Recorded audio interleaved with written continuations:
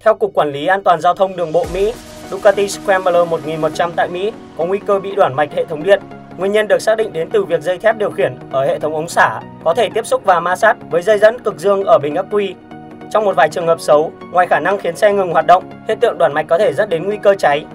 Ducati Bắc Mỹ sẽ tiến hành triệu hồi các mốt Scrambler 1100 đời 2018-2021 được sản xuất trong giai đoạn từ tháng 3 năm 2018 đến tháng 10 năm 2020. Tổng số lượng xe bị ảnh hưởng là 1.072 chiếc. Đợt triệu hồi dự kiến bắt đầu từ tháng 1 năm 2021. Hãng xe Italy cho biết hướng khắc phục là lắp đặt một thanh dẫn hướng mới cho dây cáp và bổ sung dây buộc tự khóa vào dây van xả. Scrambler là dòng mô tô mang phong cách cổ điển của Ducati trong đó các phiên bản 1100 sử dụng động cơ L-Twin, dung tích 1079cc, làm mát bằng không khí, đi cùng hộp số con tay 6 cấp, thông số công suất đạt 86 mã lực và mô men xoắn là 88 Nm. Năm 2018, Ducati Scrambler 1100 được ra mắt tại Việt Nam với 3 phiên bản tiêu chuẩn Special và Sport.